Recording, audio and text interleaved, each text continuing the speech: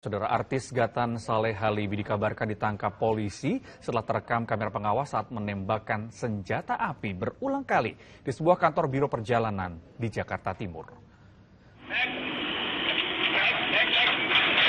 Dalam rekaman kamera pengawas, pria diduga Gatan ini menembakkan senjata apinya sebanyak tiga kali. Sejumlah kaca kantor pecah akibat terkena peluru. Korban ternyata mengenal pelaku, meski begitu ia tidak menyangka pelaku nekat menodongkan senjata api, bahkan melepaskan tembakan.